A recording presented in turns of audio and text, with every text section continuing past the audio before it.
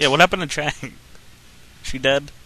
No, she's supposed to follow. She was supposed to meet us here somehow. know you two are in cahoots the first moment you set foot. Shoot another movie. Hold on. You caused nothing but trouble. You're an innocent. This is Put this whole bunker at risk. You expect me to believe that? Hey.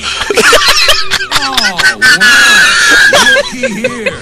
Man of the hour. Man of the hour? Should have listened to me. Kicked you out when you got here.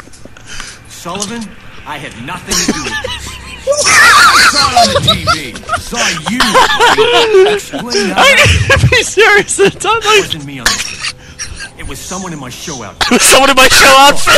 I don't care what he I don't believe you, Harrison Ford. pays for the military gets here to prove that I'm innocent. I'll hand myself over if we haven't gotten the proof. I'm just asking for a fair shot. You could have told me that the front door was locked. I didn't know the front door was locked. You're that TV lady. Back I'll door's make you a open. You folks up, you can keep coming and going. You die out there, and we'll have to leave it to the devil to sort you out. But ain't no one gonna cover your ass when the military arrives. You pull anything, I think the devil's the least of your I'll worries. do I have to do. no one's gonna cover your ass.